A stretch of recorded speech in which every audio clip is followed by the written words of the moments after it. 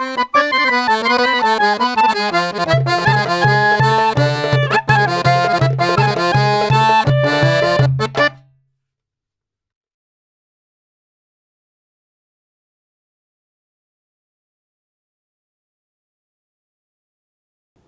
am Andrea Pieroni. I am an ethnobotanist. I am a professor of ethnobiology here at the University of Pollenzo. Which is the importance of ethnobotany in the nowadays and future gastronomy? Ethnobotany is the science studying the complex relationships between humans and societies. And of course, we can say that uh, is old as uh, the first humans, they inhabited the planet because uh, every human in the planet has an exposure and has built relationships to the plant kingdoms, both in terms of species and also in terms of ecosystems. Of course, for the gastronomy, the issue is extremely relevant because most of the taste we have in the world, taste of dishes, comes from plant ingredients and comes from specific constituents of plants ingredients. They have taste and smell called secondary metabolites. The ethnobotany is the science studying then an old story, the story of the interaction between uh, humans and plants is about traditional knowledge. What is traditional knowledge? Traditional knowledge is the core business of the ethnobotany and also the core business of many intuitions slow food developed in uh, studying the gastronomies. The idea that uh, knowledge which has been uh, transmitted mainly orally and uh, mainly retained by local communities mainly retained by non-official actors of the knowledge, is crucial for shaping practices of gathering plants, of cultivating plants, of transforming plants, of uh, producing beautiful artisanal products and also beautiful dishes. The traditional knowledge, however, is very different from the scientific knowledge traditional knowledge is not only knowledge, is embedded into practices, is strongly connected to the empirical daily life, and it includes also beliefs and language. Traditional knowledge is not only traditional. In the way we may understand sometimes nowadays this term, is not static, but is highly dynamic and is the result of a continuous coevolution that the local communities and the natural environments um, had in exchanging and in uh, um, fostering for centuries uh, Uh, relations and exchanges. The most iconic example of how traditional knowledge is dynamic is probably the most iconic dish of the Italian cuisine, spaghetti with tomato sauce. Spaghetti are surely non-native in Italy, possibly arrived, as Massimo Montanari teaches us, from uh, uh, the Arabs and, of course, from the Near East. It's a direct consequence of the discovery of agriculture in the Fertile Crescent. And, of course, tomatoes came from the new continent. So the Italianness in this dish is not in the ingredients, but in the way these two things are put together. So the Italianness in the, is in the aesthetics. This shows that traditional knowledge is traditional in the way is transmitted and is considered amicably part of the cultural heritage of the local communities, but is not static.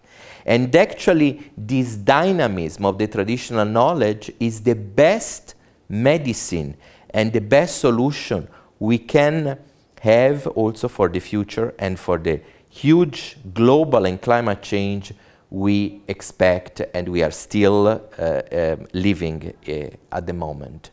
Why? Because in this dynamic of traditional knowledge there is uh, some special energy which could forge also the adaptations that are needed in order to counteract the global change. Of course, not only adaptations are needed, we need also a lot of policies and serious policies, but local communities already are adapting to the climate change using their traditional knowledge and rearranging it. And that's why this is so important for fostering sustainability of the food system in the future and also food sovereignty. Food sovereignty is very linked to the, to the traditional knowledge system because local communities have the traditional knowledge in their hands. In other words, traditional knowledge is the way through which local communities can design, can uh, practice, can produce, can enjoy their food system.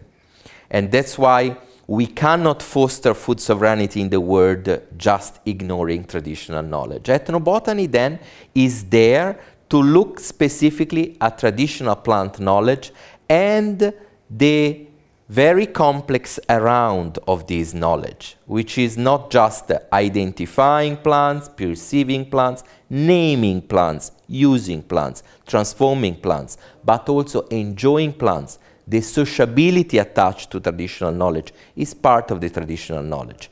There are aesthetics there, and there are also social systems there embedded into the traditional knowledge related to plants. This means landscape, this means what we call nowadays biocultural heritage. This means also um, rules. For example, the usi civici, the, um, the, the, the, customary laws regulating the use of common goods are also part of the traditional knowledge. And that's why we need to study traditional knowledge and we need to study ethnobotany all over the world. Not just for the good sake of the scientist, but for enhancing the further coevolutions local communities have to have with their environments in an alliance that bring together scientists, local communities, environmentalists, and also, I would expect, foodies too.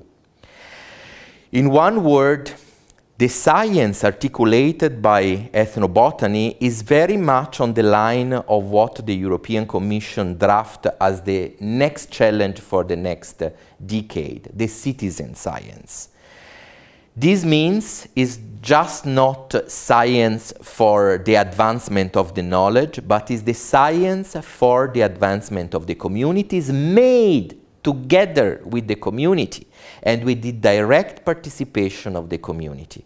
And this is, I think, extremely relevant, and I would hope to see in the future much more ethnobiological research and research done together with the community. In, in one word, one of the very, um, um, let's say, crucial idea of slow food, which emerged more than 30 years ago, is not only still alive, but is also the skeleton of the next uh, um, generations of scientists.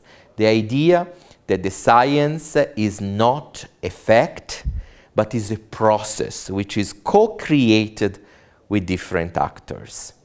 In this sense, when we see an old lady or even a mid-aged or even a young uh, gathers of wild vegetables nowadays or a farmer um, rediscovering a local land race, we see the essence of uh, a continuous coevolution and we see also a value which is well beyond the scientific value and well beyond also the biodiversity as we have intended it so far.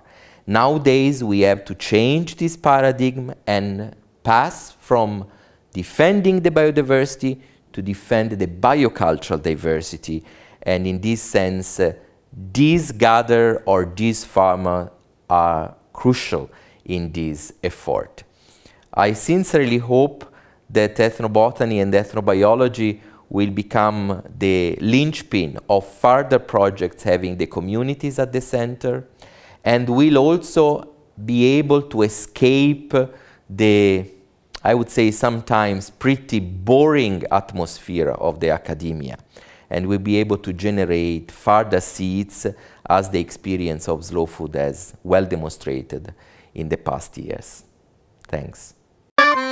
Thank you.